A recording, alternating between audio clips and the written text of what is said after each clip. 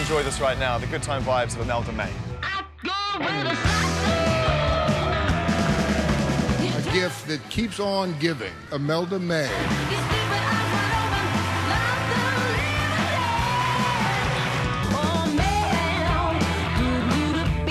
Meteor for Best Artist Female goes to Imelda May.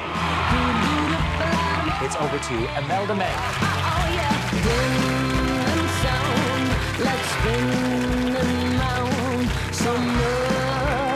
What a sad. You're brilliant. I had my first little rockabilly outfit when I was 13 and I had a little quiff the size of a pea. and then we got the Albert Hall one, so we were delighted. Please welcome now the wonderful Imelda May. Take a deep breath.